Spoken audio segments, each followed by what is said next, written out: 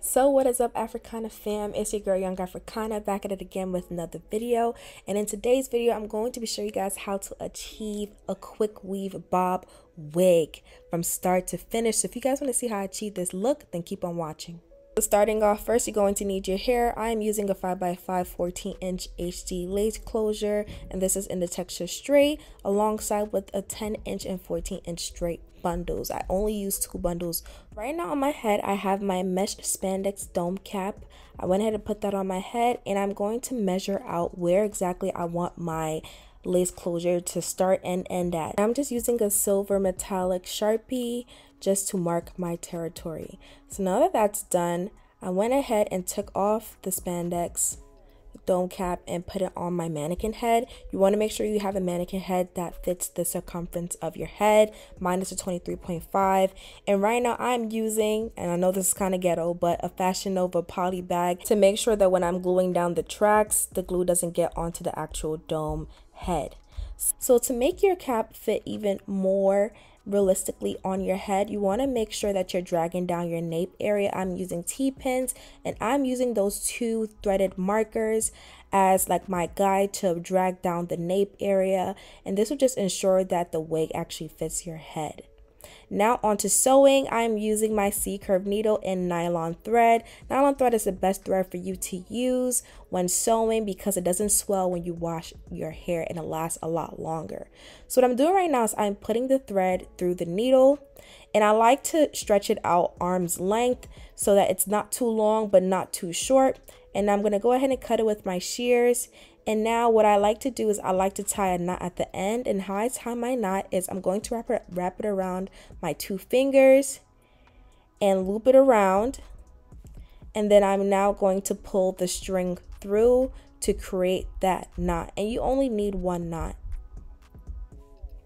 And the only thing that we are sewing down is the lace closure. We're not sewing down the entire wig, but you are going to sew down the entire lace closure and only the lace closure.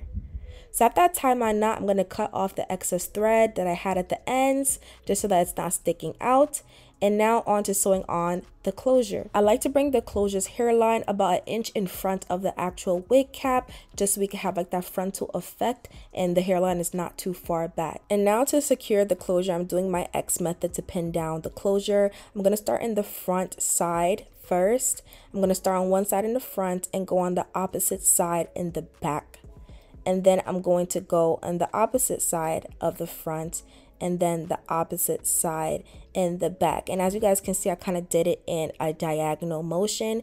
And I like doing it this way instead of just working on one side first and then the other side second so I can ensure that there are no bubbles and I really get to stretch out the closure as much as possible. And as you guys can see, there's no bubbles or anything while I am, you know, smoothing my hand against the closure.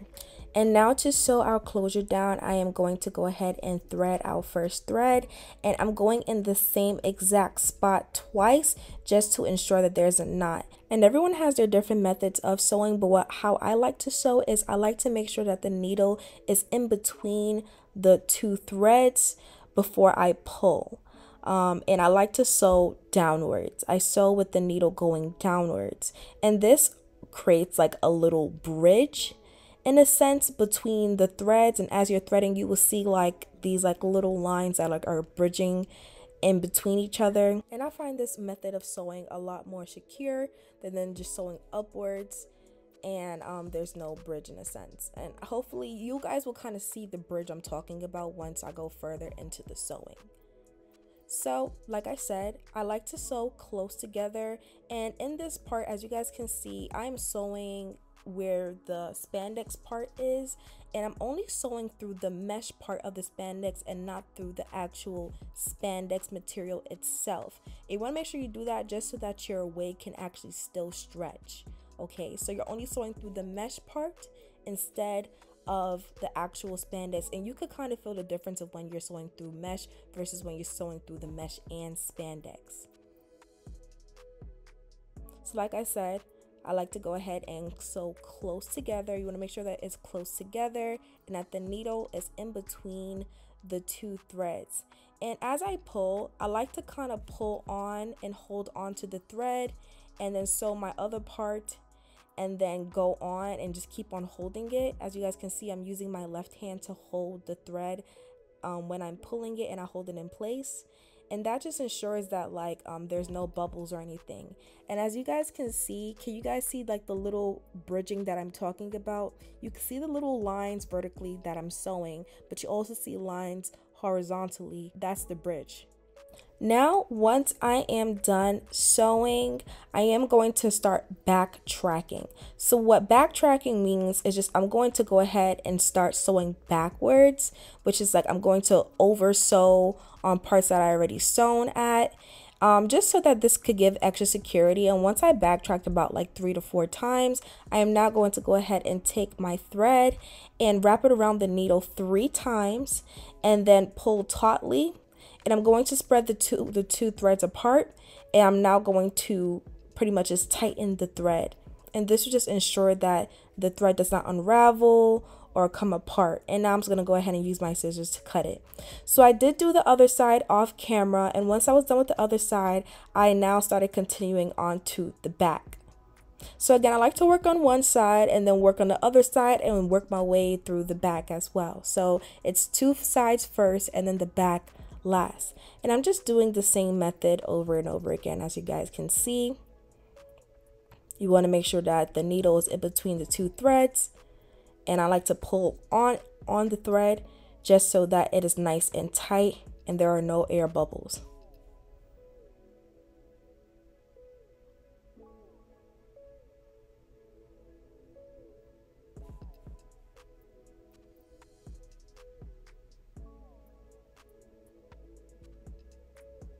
Now, once I am done with that, I'm now going to go ahead and spread the two thread apart and then kind of like, you know, stretch it out. And now I'm going to go ahead and tie two knots and then cut off the excess thread that we have. And your closure should look like this. Super neat, super tight. There are no air bubbles. Um, y'all, like this is super flat and flush. So now on to marking out tracks. So what I'm doing is I'm starting above the actual um, spandex part. I like to start above it just because again I like my wigs to stretch. You want to make sure that it stretches. If you start on the spandex, you limit uh, your stretch. So I like to start a bit above the spandex and I am following the natural curve of the head. So as you guys can see, I'm kind of going in like a U shape. And you want to make sure that your spaces are about an inch apart. You don't want them too close together, but you also don't want them too far apart. You want them about an inch apart.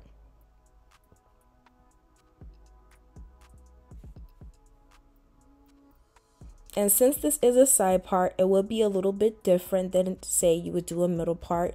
So I'm going to go all the way up until I reach the, um, the side part in a sense. And then I'm going to go ahead and start curving upwards. And you're going to see what I'm talking about. So just keep on following the natural curve.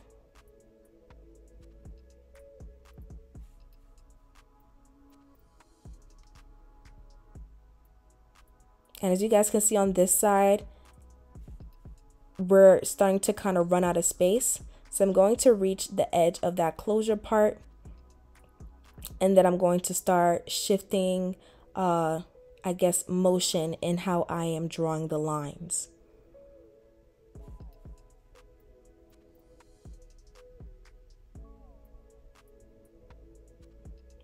All right, boom. We reached the end of that. And now, as you guys can see, we are now about to start changing how I am going to um, draw the lines just so we could fill out the rest of it.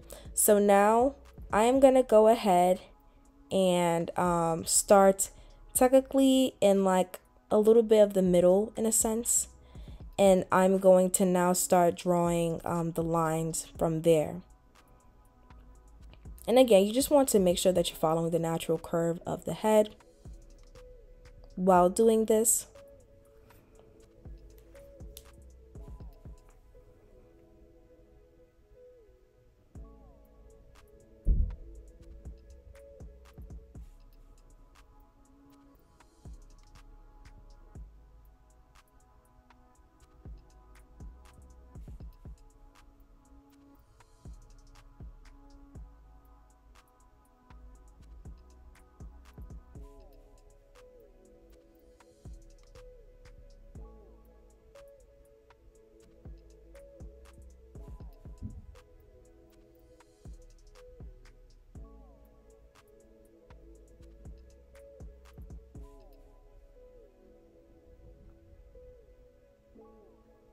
And as y'all can see, we are getting closer and closer to the top. And in a sense, I'm following this L shape. That's that. There we go. That's what we're going to call it. I'm following this L shape to kind of fill in the spots that we have left because, you know, one side has more area of tracks than the other.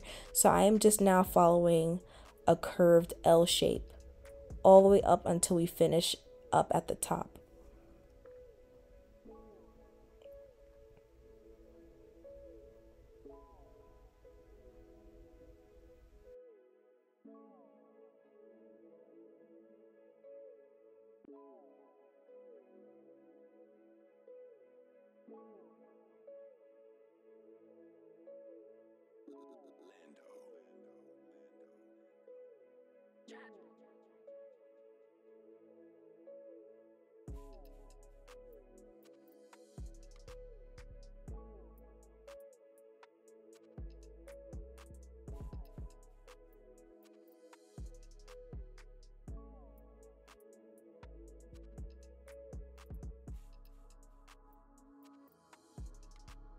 And after you're done, this is how it should look, y'all.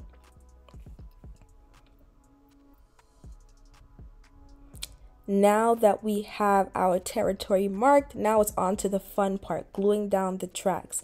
So remember, we are using a 10 inch and a 14 inch, and here is the method to my madness. We're using the 10 inch first, right? And I'm going to explain a little bit later on as to why I use a 10 inch and a 14 inch. So I'm using the 10 inch at the bottom, okay? And I'm going to go use my Salon Pro 30 second glue and I'm going to apply the glue on the track and place my track onto the actual cap and then blow dry it on the hottest setting. So again, you want to go ahead and measure out your track. You want to cut it according to the line and then go ahead and press it down onto the cap and then blow dry it on the hottest setting. So for the 10 inch, the reason why I use a 10 inch is because usually at the bottom or the back of the hair is always the shortest, especially when you're doing a bob when you cut it. So instead of you buying long hair to cut it, I would I'd rather buy short hair. On top of that too, when you get shorter hair, you get more hair in the bundle right? So instead of you getting three bundles of like 14 inches, you could just get one bundle of 10 and you're able to use a full blunt bundle and finish about more than half of the actual cap before you go on to your next bundle. So not only does it save you hair, it saves you money and you also get a bigger bang of your buck. So thank me later. Also to I hate when people you know, bobs look really skimpy and like it looks frayed at the ends and it's not blunt. That just doesn't give. And you using a longer inch on top will just give you that full blunt effect versus you using the shortest one on top. That looks crazy. Like we're not going for a layered looking bob. If anything, you should just yeah, no. All right, y'all. So um, for the 10 inch, what I did was I kind of really filled in in between the lines as well, um, just so I'm using all of the hair. And now we're on to the 14 inch. And now what I'm doing is as I'm getting to the top and getting to the sides of the top, I like to kind of curve it upwards just so I could get that full bang effect in a sense, right? Uh, when it comes to side parts, you kind of want to have like, you know, that fringe, the hair coming to the front of your hair and everything. So I just like to curve it a little bit upwards um, just so that we can have that fullness in the front.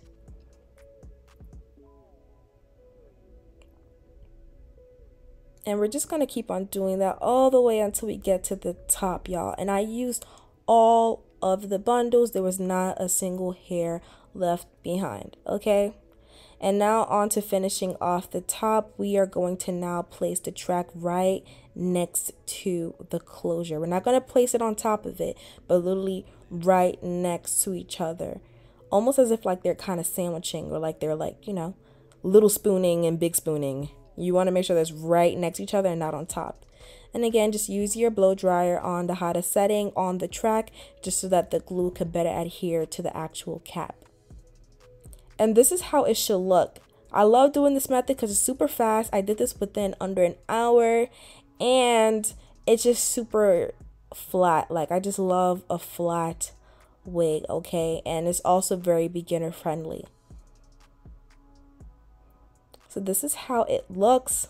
And now I'm going to go ahead and take off the wig. As you can see, the wig came off really, really nicely without any struggle off that poly bag. So don't shoot the messenger, okay? But now I'm going to flip my wig inside out and I'm going to cut off that excess cap underneath the lace because you don't want cap right underneath the lace. So what I'm doing is you want to make sure that you're being very, very mindful that the thread is still there. So you want to cut right like next to the thread. If you could leave a little bit of cap on there, you can. Um, but yes, just cut right next to the thread. You don't want to cut on the thread because then your closure is going to come off. Unfortunately, I couldn't really show like a good view of me doing that. Um, but yes, you just want to make sure that you're cutting right next to the thread without cutting the thread off and you can see like the thread lines underneath it and as I can see boom we're just going to take that off and now your wig is pretty much complete now onto the styling I'm going to go ahead and put this wig on my head as I can see it looks really flat and nice and now I'm going to now part to my side part. For me, I am a C curved girly. Okay, I love me a C curved side part. So I am parting my hair in a C curved motion. And I'm using my hot comb on the hottest setting. And I'm just pressing out my hairline and also pressing out the part as well, just so that there's no flyaways and our wig don't look humpty and bumpty. Okay, just it don't give. Okay, and now onto the back. This is the most important part. You want to make sure that you cut the C part, as you guys can see, in the back as well. And I'm using my Care wax stick just to really sleek down that hair in the back. And this will just help cover up the tracks. I'm now going to go ahead and flat iron my hair. And I'm using my Conair Infinity Pro Flat Iron. This one you can get from Ulta. And I'm just using the trace method with my comb and the flat iron. And as you can see, like the wig is starting to come together, it's coming to form and shape. All right, but now on to the hairy, the hairy part, the hairy and messy part. I'm going to go ahead and use my um, razor comb. You can get this from the beauty supply store and I'm using the one with the shorter guard. Uh, I'm using the side with the shorter guard and I'm going to cut my bob on my head. And I'm doing this just to kind of, um, you know, fray out the ends so that the ends aren't super choppy once I'm cutting it. So this would really just give you like body and you know bounce. I don't know how to explain it but it just really just you know give you form. And i am cutting this kind of like in an asymmetrical way a little bit. Well a lot of bit actually. But i am going to be cutting this asymmetrical meaning that the front is going to be longer than the actual back. So i'm just kind of cutting this just to get like my shape and you know get like a guideline of where i'm actually going to cut at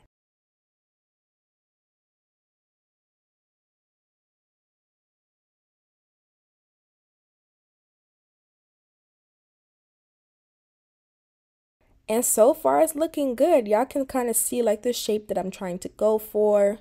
And like the hair is super flowy and nice and the ends are not that choppy. So I did went ahead and take off the wig and put it on my mannequin head just to kind of further more with the cut. And um, you just want to just keep on doing that. I'm going a little bit more higher with the layers in the back because like I did say, I did want the back to be shorter. And now I'm going in with my clippers. This is my Wahl clippers. And I'm just going to go ahead and start cutting the hair. You want to make sure that you kind of tilt the mannequin head downward just so you can get that full stretch of the hair and see underneath the hair as well too. So I did start off with clippers, but then I ended up using my shears just to kind of finish off the cut. And as you're doing this, you just want to make sure that you're combing the hair throughout it just so that you know that you're cutting every strand on that bob.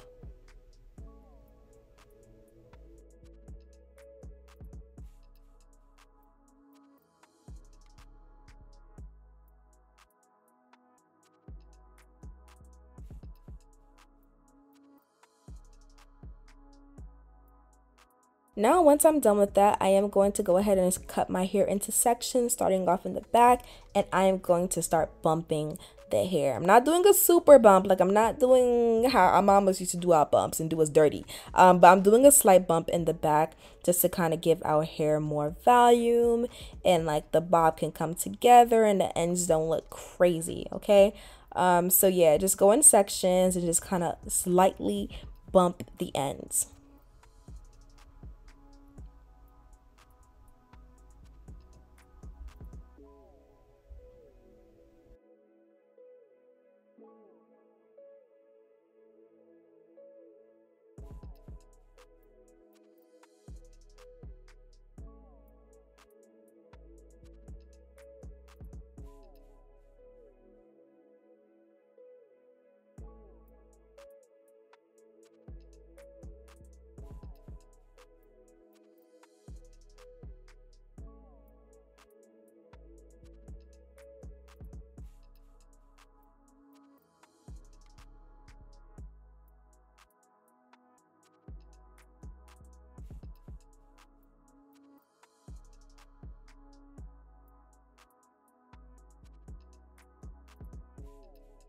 And as I'm getting more closer to the top and the back, I'm going to slightly start um, bumping the hair in like a different direction a little bit. So y'all can see that, like y'all see that? Uh, like it just gives, y'all. It just gives. It gives sophisticated bob. This is the sophisticated bob. This is not your regular degular bob. But you can definitely wear it for a regular degular day. But still slay, okay? Oh, look at that bars. Y'all see that? Hold on. Eminem got nothing on me. Jay Z got nothing on me. Okay. um, but yeah, y'all, I'm gonna go ahead and just keep on bumping it up. And in the front, I kind of wanted like this weird uh Pixar mom bob uh bump in the front. I don't even know how to explain that bump in the front, but it's like a slight curve. It's like a little bit different from everywhere else. But this is how the bob looks like at the end. It is super nice and full, and the hair has body yaddy, okay? And this is how the bob looks like on me. We are, are going to cut off the lace and I did cut in the middle with my shears and then using my eyebrow razor just to cut off the lace in a jagged motion. Now when it comes to the edges of the closure, as you guys can see, like there's like a thick part of like um, the perforated parts of the closure. You want to make sure that you really cut into it just so that it's not visible on the sides. And you know, it's not me if I don't do baby hair, so I had to do a little baby hair action, just really small. I went ahead and just carved out just one baby hair um, at the temple area of like, you know, my hairline. And I'm using my T-Vix iron in the 3 8 inch. And I'm going to curl that baby hair upwards just to kind of form it into shape. And then I'm using my Erica J um, fluff stuff foam and I'm using my baby hair comb just to carve out my baby hairs and these are the final results. I do have my makeup video. I'm going to drop it tomorrow. So stay tuned. But I hope you guys enjoyed this video. Like, comment, subscribe to my channel, and click that bell to get notified when I drop. And I'll see you guys in the next one.